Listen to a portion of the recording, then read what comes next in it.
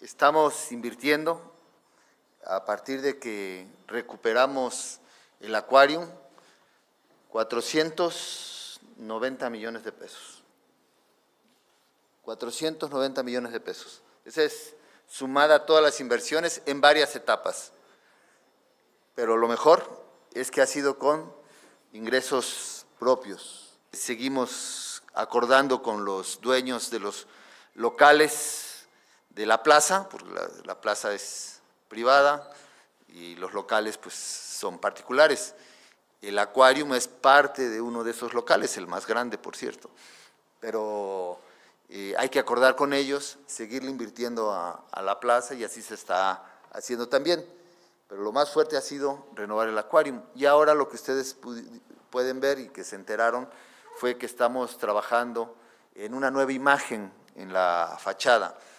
Es muy importante eh, actualizar esta imagen del acuarium porque de manera turística el puerto de Veracruz tiene que seguir siendo un punto de atracción de turistas.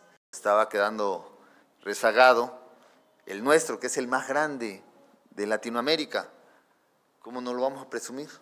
Entonces le cambiamos la imagen, va a tener un pasillo en la parte de atrás, que quizá varios observaron solamente la parte de enfrente, creo que la mostramos, pero aparte de atrás va a tener un pasillo para que la gente pueda ver el mar también por la parte de atrás del acuario, pueda estar disfrutando, va a tener eh, un punto alto para observar el paisaje atrás del acuario y un pequeño muelle también.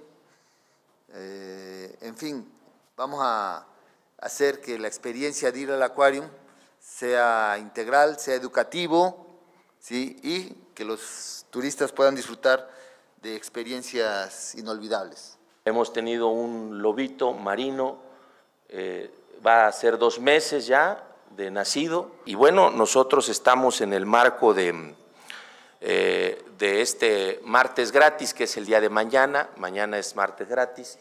Eh, queremos eh, dar a conocer esto a nivel general, que la población lo conozca, que vea algunas fotografías y queremos pues convocar a que se le ponga nombre. Vamos a manejarlo en dos etapas.